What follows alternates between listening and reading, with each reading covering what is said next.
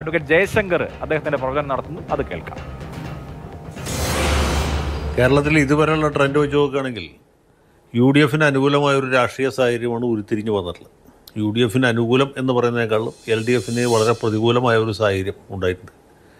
അതിന് പല കാരണങ്ങളുണ്ട്. പ്രത്യേകിച്ച് കേരള സർക്കാരിന്റെ പ്രവൃത്തികളോട് അതിന്റെ പ്രവർത്തനത്തോടും ജനങ്ങളുടെ ഇടയിൽ വലിയ ഒരു വികർഷണം അല്ലെങ്കിൽ ഒരു വിപ്രതിപത്തി ഉണ്ടായിട്ടുണ്ട്. ഇതപര്യന്തം ഇടതുപക്ഷത്തെ പിന്തുണച്ചിരുന്ന വിഭാഗങ്ങൾക്കിടയിലാണ് ഇത് ഏറ്റവും ശക്തമായിട്ടുള്ളത്. പ്രത്യേകിച്ച് ക്ഷേമ പെൻഷനുകൾ മുടങ്ങിയത്. അതുപോലെ സർക്കാർ ഉദ്യോഗസ്ഥന്മാർക്ക് സമയത്ത് ശമ്പളം കിട്ടാതെ പോകുന്നത്. ഖജനാവിൽ അഞ്ച് പൈസ ഇല്ലാത്ത രാഷ്ട്രീയ സാമ്പത്തിക സാഹിത്യം. പാനൂരിലെ ബോംബ് നിർമ്മാണം. ഇങ്ങനെ ദൈനംദിന അടിസ്ഥാനത്തിൽ സർക്കാരിനെ പ്രതിക്കൂട്ടിലാക്കുന്ന സർക്കാരിനെ കുഴപ്പത്തിലാക്കുന്ന തൃശ്ശൂർ പൂരം വെടിക്കെട്ട് വരെയുള്ള സംഭവങ്ങൾ നടന്നുകൊണ്ടിരിക്കുകയാണ്.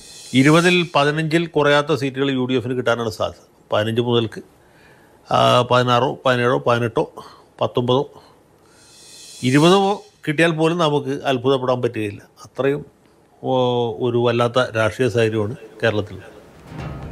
അതായത് സംസ്ഥാന സർക്കാരിനെതിരായ വികാരം അത് പ്രകടമാകും ഈ തെരഞ്ഞെടുപ്പിൽ എന്നതാണ് അദ്ദേഹം പറഞ്ഞ് എത്തിക്കുന്ന ഒരു പ്രധാനപ്പെട്ട ഭാഗം. അവിടെയാണ് ഈ പറഞ്ഞ കൊല്ലത്തേക്ക് ഈ സംഘടനാ ശേഷി കൊണ്ട് മാത്രം വിജയിക്കാൻ കഴിയുമോ എന്ന ചോദ്യം സി പി എമ്മിന് മുന്നിൽ നിൽക്കുന്നത്.